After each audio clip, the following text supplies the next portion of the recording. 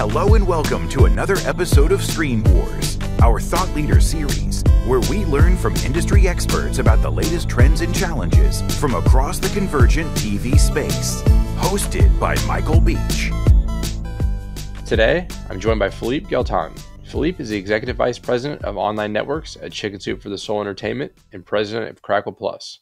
In our talk, we cover a wide range of topics, including the economics of streaming video and the trade offs that a network considers between maintaining exclusive content versus licensing to other streamers. Please enjoy my conversation with Philippe Guelton. Well, Philippe, thanks for joining us today. Thanks for having me, Michael.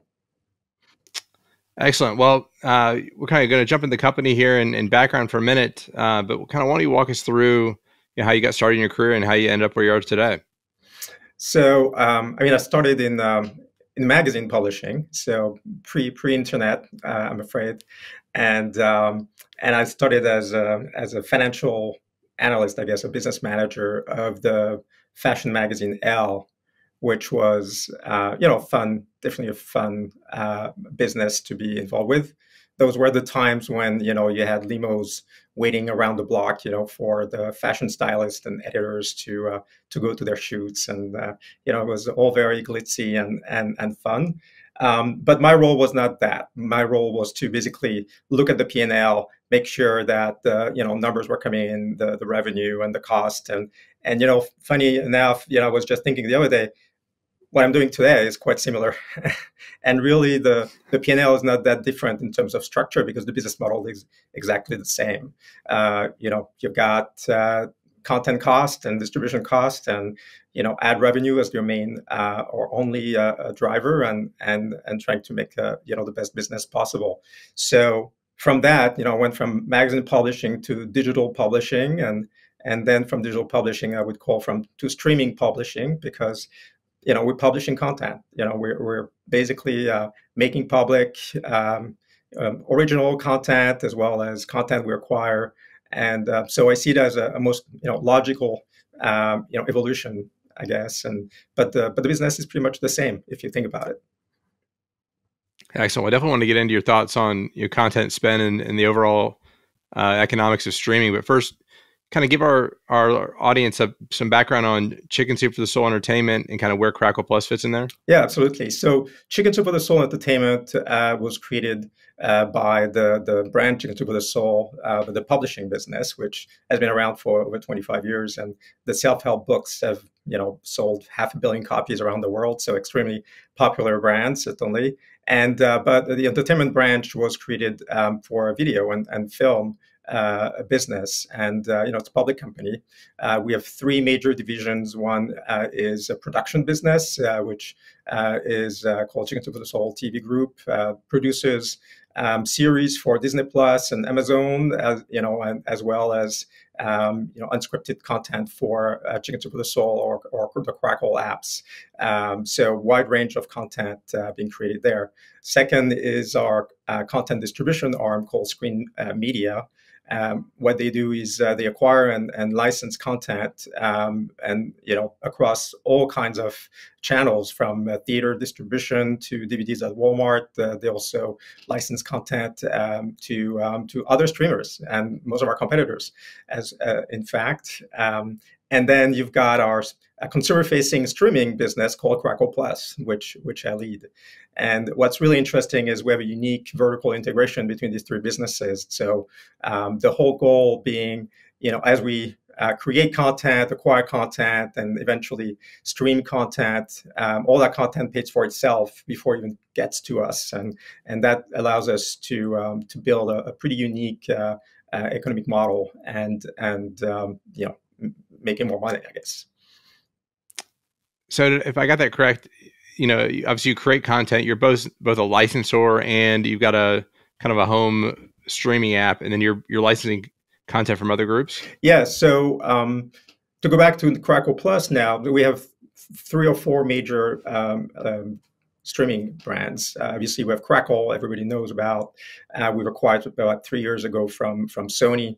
Um, and it's more of our general entertainment brand that uh, is a combination of content we produce uh, content we acquire. You know, we license content. We obviously have a strong partnership with Sony. Uh, we just announced today a huge partnership with the BBC, um, and uh, and we talk. You know, we work with the big studios um, as well as uh, we've been building our own library of content, um, and that's what that's where Screen Media uh, comes in play.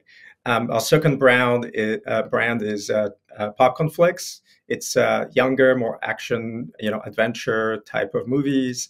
Um, it's a brand that's been around also for a long time. That was actually developed by Screen Media.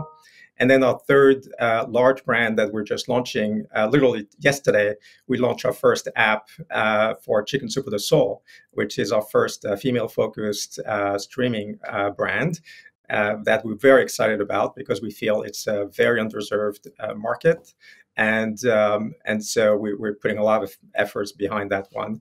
We have other brands like Truly, uh, which is a more of a faith-based um, uh, uh, brand uh, with uh, with a lot of uh, you know great creation of, of content from a multitude of of, of, providers. So. I mean, what we do is provide the best product we can. You know, the, the our mission is to build the best AVOD experience to uh, to our users. We are you know 100% free, 100% ad supported, and uh, we've been putting a lot of efforts in our obviously our content um, um, selection and, and creation. But uh, right now we're putting a lot of investment also in our product uh, because we believe that um, the AVOD experience has not really changed much uh, over the last probably five six years and since you know Netflix came out, uh, and so we think there are real opportunities to add new types of functionalities and, and types of engagement with our, our, viewers. And, and so we're deep into that uh, right now. And then the, the other thing we have been focused on is uh, distribution. So adding obviously um, uh, more touch points.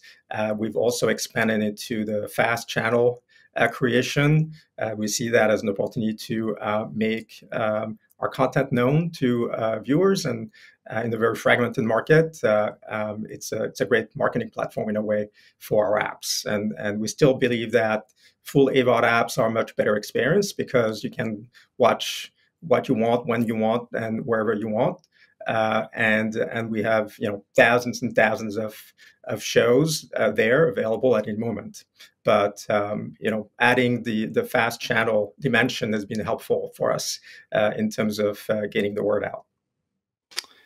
Yeah, I'm interested because uh, it's kind of a topic that gets glossed over with kind of really you know, broad brushstrokes. But how do you decide what content that you want to keep exclusive versus content you're willing to to license out to you know a competitor, or a friend of me, vice versa? You know, when you look at licensing other content, whether it needs to be exclusive to you or if you're willing to have the same same content as others. Yeah, I think that's it's it's a great question, and it's not an easy answer. I think it's uh, it's a combination of of um, um, you know it can be seasonal content that you want to keep exclusive. Let's say we have uh, uh, um, uh, our new Christmas movie coming out every year, and and we definitely want to keep an exclusive window for that uh, before we may license it to someone else. Um, we have our, our Crackle originals. I usually exclusive to us and they stay exclusive for a long time. We we have yet to license any of them uh, to to anyone else, and uh, and we produce. You know, we launch at least uh, one or two of them every month uh, right now. Um, we um, we certainly have acquired exclusive uh, shows. Uh, you know, we announced a couple of days ago we we're going to have. Um, uh, Sherlock uh, from the BBC as you know the exclusivity for three years on on Crackle, and uh, we think it's it's a show that attracts a lot of fans, and, and we want to keep it uh, at least for a long time exclusively on, on Crackle. Um, and then you know we we license content from, as I said, from Sony and, and others where uh, we might be willing to to share uh, the windows with with um, um, with other frenemies, as you say. So yes, we're in a unique position where we are a company that license content out to others, and we always try to keep, whenever possible, at least a, a, an exclusive window for our own platforms first. And, and business model, ad supported, subscription, kind of combination of the two. We we don't sell subscriptions. We're fully ad supported, and um, you know that's really our intent to stay that way. That's great. And kind of looking at the overall streaming space, obviously gotten extremely crowded. Um, you know, Crackle I always look as one of the really early apps uh, into this space kind of where do you fit overall in the in the market? Obviously, you're in the, the ad supported bucket. Um, you know, and kind of who are your your core competitors? We have a lot of competitors. Obviously, uh, we compete with anyone that takes time away from our viewers. Certainly, um, but then and and SVOD is is one of them for for time. Um, on the AVOD front, uh, obviously there are the, the usual suspects, the Tubis and Plutos of the world, um, and all the TV OEMs who have been very active in building their own experiences. So you use the, the word of frenemies, and, and that's what it is because we pretty much work with everyone. and uh, and so if uh, if we don't have our, our own content, uh, our own brands, uh, streaming brands distributed, we have our own content distributed potentially on these on these platforms. But um, we believe that uh, first of all, we have amazing brands. Uh, when you think about Crackle, uh, which um, you know it's definitely not uh, at the scale of some of the multi-billion dollar media companies out there and still in every consumer survey and, and comes first usually as, as the most recognized uh, AVOD brand. Uh, so that's a huge, huge uh, advantage. Uh, I would say it's same with Chicken Soup, even though we just launched it. We know it's one of the most um, you know safe and and feel good uh, you know loved brand in in uh, as part of the female media world. Um, and so I think that's the the first thing we have to offer. You know, very well known, safe brands where people know you know what they're going to get. Um, second is content, and we spoke about it. I think as part of a, the AVOD market, we've been ahead of the, the game in terms of originals, for example. You know, until recently, a lot of our competitors, you know, claimed they would never do originals. They would never get into that market. And uh, and Sony, b- way before we bought Crackle, was very active in, in creating uh, original content. Um, you know, we I counted recently over 110 uh, movies or series that are coming up uh, in the coming year uh, that are all going to be originals exclusive to our platforms. And so that's really a, a, key element of you know providing content that doesn't exist elsewhere. Um, and at the same time, having you know, as we said, the Sony library, the BBC content, you know, working with Lionsgate and others, because you want to give our, our, our viewers, you know, the round rounded experience and, and the ability to uh, um, to entertain uh, themselves where you know with whatever content they, they, they want. Um, product, as I mentioned, is is a key element. You know, we've already announced we haven't launched it yet. We're going to be probably the first AVOD platforms with uh, with a loyalty program, uh, where um, and you know, there's always a, we have this joke where we uh, you know we we are not charging the consumers we may actually pay them to to come and, and pay and watch content on on the, on crackle and i think there's not a single business out there that doesn't have a loyalty program you know and, and reward their most loyal uh, uh, consumers. So that's something we're we're very excited about and uh, we're planning to launch later this year. Um, and um, and i would say one of our strengths also is advertising. So we have an amazing uh, advertising team. Uh, they are so good, in fact, that uh, we have way more demand and supply. And uh, we've been expanding our offering to other premium media platforms. And, and so we are you know, we represent a number of, of prestigious streamers out there in the marketplace, and and that helps us in terms of scale. So when you think about our uh, scale, and you know, for um, for the advertising market, it's not just our own and operated brands, but it's also a portfolio of partner brands.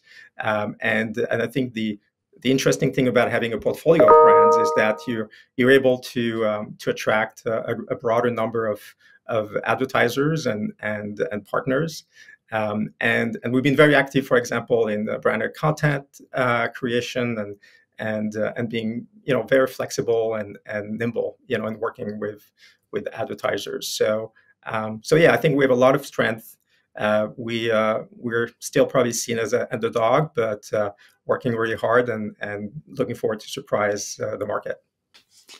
You talked about the demand outpacing supply on the advertising. Is majority or all of your advertising direct sold, or do you work with kind of supply side platforms or? So we actually have a majority of, of our business sold direct, and um, and you know between the direct business and and the uh, uh, supply side platform business, you've got you know this emerging uh, category of, of programmatic direct, which is really leveraging the the programmatic pipes, but selling direct to um, to to the agency clients who, uh, especially I think we've seen since COVID, have been uh, really more uh, careful about uh, uh, the context of where the ads are running, and it's very important for them to have the, the you know the knowledge and of knowing where you know what what is uh, what kind of content they're, they're running against. So I think that's been uh, that's actually reinforced, I think, the, the, the direct side of the business. Also, a lot of the dollars are coming from television are have been traditionally placed direct and uh, directly with uh, with the agencies and clients. So um, we are very active uh, during the uh, upfront and new fronts, and and uh, that's uh, that's a big part of our business. What what does a typical advertiser you look like? Are are they buying television advertising already, or are they unique to to streaming? No, for the most part, they're the top top advertisers. You know, it's pharma, it's uh, insurance companies, it's PN, you know, P&G, packaged goods, uh, QSR. Uh, so most of them are your typical TV advertisers, and you you would recognize most of those campaigns from traditional TV. Uh, we also work with um, you know local. Uh, uh, networks, uh, and so you'll find also some local advertising. But for the most part, you know you're you're thinking about the the big TV brands. Okay. Well, we talked about earlier, but the you know I'm fascinated by you know how you would view the kind of economics overall of the of the streaming model and how you decide how much to spend on content, whether it's you know originals or licensed, and um, kind of what's your your big picture take on that? Um, we're obviously in the business where all our costs are really rev share, right? It's it's really about how much uh, is going to go to the platform, distribution platform, how much is going to go to the content uh, creator, and and therefore I think our uh, integration with the rest of the company, you know, in terms of creating our own content or acquiring libraries from you know to to to only own them. Um, Screen Media, our partner, you know, sister company, acquired Sonar Entertainment last year. We just acquired another company called 1091, which brings a ton of uh, content in you know very niche and very important niche uh, uh, areas. And so, number one is you may want to own most of your content or more and more of your content, so that big part of that cost you're actually paying to yourself, and the money stays within the company. So that's rule number one. Um, n- rule number two is working with um, brands, as I mentioned just now, um, to help fund the content. Um, so we've become, I think, um, better and better at um, uh, selling brand integrations into our original content. And uh, shows like Going from Broke, for example, which is going to be in the, its third season this year, uh, show that we've created with Ashton Kutcher, who is uh, the executive producer, is also a friend of the company. And um, fully funded uh, through brand integrations. Uh, you know, so when the show comes to Crackle, basically every every dollar sold is is profit, which is really you know the way you you would want to uh, to do that. Um, we've also partnered with, within co-productions. You know, we we, we co-produce content with A and E uh, on some projects, um, and uh, and because we have a our licensing arm with Screen Media, we're able to uh, resell international rights or other other windows for that content. So again, the the whole concept of being integrated is to lower the cost or fund the cost of content as much as we can. Um, and then, but of course, once in a while we'll splurge on on the on content that really matters and and we feel is uh, going to make a difference. Uh, so um, so that's really where where we're you know we're looking for a balance uh, between uh, own own content and, and licensed content. How with the kind of more traditional side of the business, is there you know do you do like 360 type deals with content creators for you know print, your books, you know video and everything? Um, I think we can. We have now with the launch of the Chicken Soup for the Soul uh, network, uh, we're going to have many more of these opportunities. Um, you know, with Crackle, obviously, it was a bit difficult because there was less of a, of a connection between the, the, the publishing and, and, and, the Crackle brand. But, you know, Chicken Soup for the Soul um, started actually production uh, three, four years ago before we, we had the platform to uh, to launch that content. Um, and a lot of these stories or the themes of the of the shows were inspired by um, by the by the books themselves. You know, the the companies still produce ten to twelve new books every year. Uh, with different topics and different subjects. Um, so there are over 100 uh, different titles that are in print uh, right now. So that means there are a lot of different topics and subjects, and they range from you know teenagers to pets to um, you know every every aspect of, of life that you can imagine. Um, what we're trying to really recreate uh, with our Chicken Soup for the Soul originals, in particular on the new network, is this idea that uh, we want to make the world better one story at a time, which is the mission of the brand, uh, original brand, and uh, and so we're recreating that through you know amazing partnerships with influencers and hosts and and content creators uh, who. Um, you know, embody the those values and and our goal with Chicken Soup for the Soul is to recreate this very safe place where you know you're gonna see uh, known known faces and and uh, warm and accessible um, um, you know hosts uh, for some of our unscripted uh, content, um, so that you you know it's gonna be very it's gonna feel very very um, consistent with the with the whole brand, uh, even if it's a you know different different medium altogether, certainly. And so it's not just taking a, a story from a book and turn that into a, a, a movie or, or, a scripted series. It's it's more about uh, bringing the values of the brand and uh, and super serving the the fan base of the books, but also I think broadening that that um, reach to really every woman uh, in in in the country because um, we we can serve every age and and certainly with a very diverse uh, uh, supply of content uh, that that is uh, one of the top you know values of, of the brand. Yeah, I love that. And if my uh, my target fo- focus group is correct, then uh, that's your successful offering because I like to go through and you know their traditional media area has shrunk over the years, but to me the the items that are there and prominent have a huge audience, right? And uh, if memory serves me correctly, uh, Chicken Soup for the Soul is, is prominent there. Absolutely, and you know, interestingly, we see personalities and content creators coming to us from both the TV world, uh, where you know cable being where going where it's going. You know, there are a lot of great talent that are looking for new platforms to uh, to create and distribute their content, as well as from the digital world on YouTube and uh, and and social platforms. Um, uh, you know, who may not be able to get a show on HGTV or, or Food Network, but they certainly are, have been creating amazing content and they've been building very strong relationships uh, with their audience. Um, they're they're beloved by by their fans and and uh, they'd love to be able to um, to build you know maybe a more premium platform for for their ideas. Absolutely. Well the, the theme for this season of our, our podcast is around business models and investing and i know that uh, you, you do quite a bit of angel investing. Kind of what's your thesis and kind of what kind of companies are you looking for as an investor?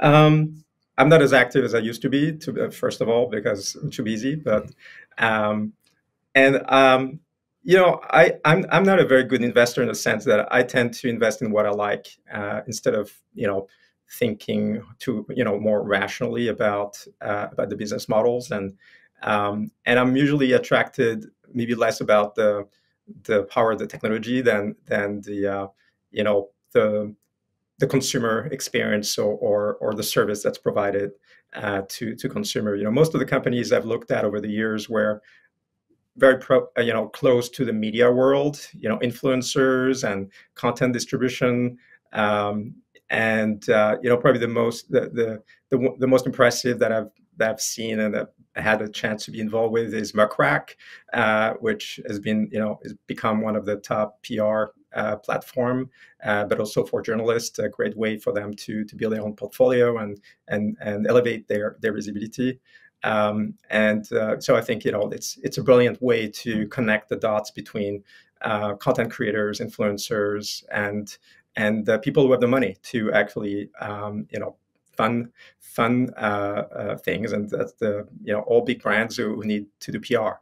Um, so yeah, I think it's really about for me, you know, it's it's more about leveraging um, content creation um, the recognizing the talent of, of people who are in the, in the market for uh, in the media market and helping them, you know, elevating them and, and giving them a platform where they can actually make a living. So in that sense, I'm not sure I'm a great investor, but uh, you know, that's that's the stuff that gets me excited.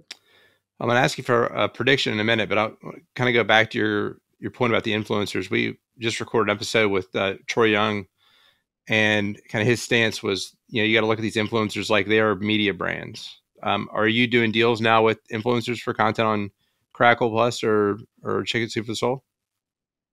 We um, we I think we announced it. Um, we're working with Tia Mowry, for example, and the Kin Community uh, uh, team, uh, who's going to create um, um a new original series for uh, Chicken Soup for the Soul.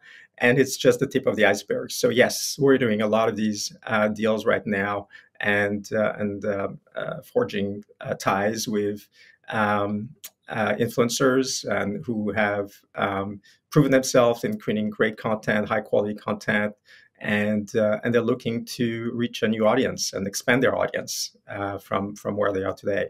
Uh, so definitely something we're we're working on very hard. Yeah, no, I'm fascinated by that. All right, lightning round here to to wrap up. Uh, kind of give me one prediction for a year from now that uh, for most people is under the radar. Well, I would have to say that Chicken Soup for the Soul Entertainment is going to become, you know, uh, a billion dollar company. It's going to be acquired by uh, Mega uh, Media Group. So nobody's talking about that, that right now, but uh, who knows? Uh, it could uh, could happen. I love it. We're counting on it. And then, you know, if our audience was trying to get kind of caught up in everything we talked about today, kind of what would be a couple areas best for them to to read, and you know, what, what people should they be looking for? Well, I have to say, of the Screen is a great place to go, which you're familiar with. You know, I'm amazed how you're able to pull all these data out of seemingly thin air. I don't know if you make it up, but um, it's uh, you know it's really terrific to be able to um, uh, understand you know the the trends of the different parts of the industry and and there's there there are very few places where where data is available. Uh, so I think that's a great place. Um, I um, you know, I really enjoy following Evan Shapiro.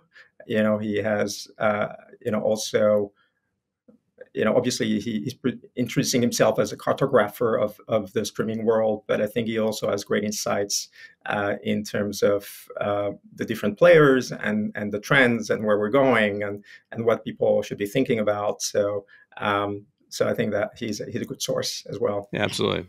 Um, well, Philippe, I appreciate your time. I know our audience is going to love this talk. All right. Well, thanks so much for having me. Thank you.